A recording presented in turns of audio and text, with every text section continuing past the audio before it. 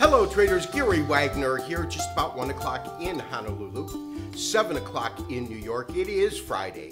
Happy Aloha Friday, as we say on the islands, March 16th, 2018, and this is the daily report for gold and silver, our weekend review.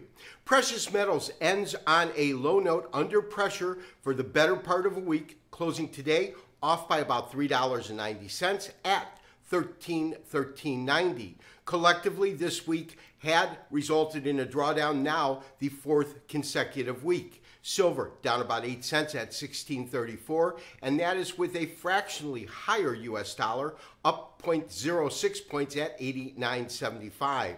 The Dow trying to close above 25,000, unsuccessful but close, 24,946 up about 72 points.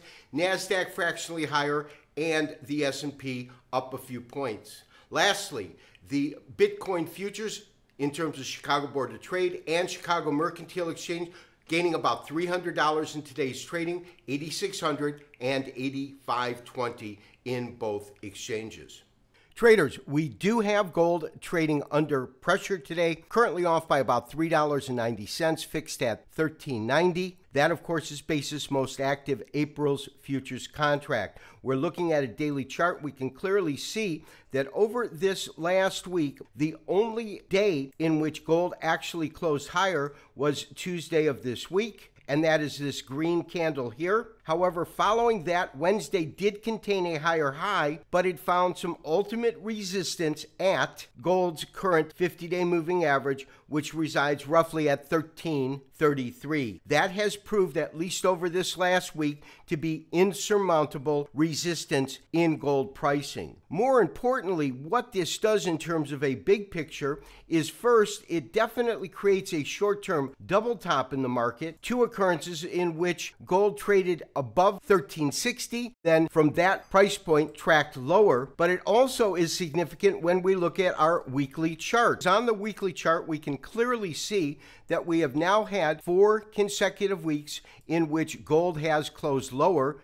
And although we cannot say that over the last four weeks we have had consistent lower closes from the prior week because this particular week with our doji closed within the trading range of the prior week, we can see that other than that, we have had this market trading under pressure, moving to lower pricing over the last four weeks of trading. Now, what is also important is the lows that were achieved during this time period came to the lowest point, which was about 1303. That occurred three weeks ago. And since that, we have seen this particular price point hold, and this is a 50% retracement. And of course, it is a retracement from this large data set of the rally, which occurred at the end of last year, beginning of this year, taking the market from 1240 to 1365. Another interesting facet is that on a short term basis, we see a double top However, this has been a price point that has proved to be a critical area that gold has not been able to break or trade above ever since the long multi year correction concluded. We are currently looking at a weekly chart which goes back to the all time record high in which gold traded just above 1900. When we look at the multi year correction that followed, we can see that we had a series of highs and then a sell off and if we take a look at the highs and then compare it to the following high, we definitely get a lower high. We also look at the lows and get a lower low. That occurrence would really be the overall characteristic in the market until the market hit these lows at the end of 2015, beginning of 2016, in which the market traded to as low as $1,040 per ounce. From there, we had a tremendous rally in 2016 and what is most important is that for the first time since the multi year correction, gold actually traded to a higher high than the previous high, which is what made this particular rally and, more importantly, gold trading above 1360 so significant. That would turn out to be the highest high that gold traded to since the conclusion of the multi year correction. However, what followed was just as interesting we did get a series of higher lows. However, On each rally, we also seem to top out at that price point. The occurrence of gold prices failing to trade above 1370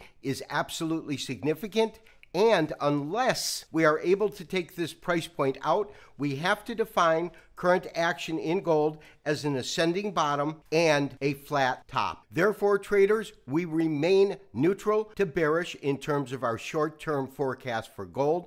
We are still bullish long term.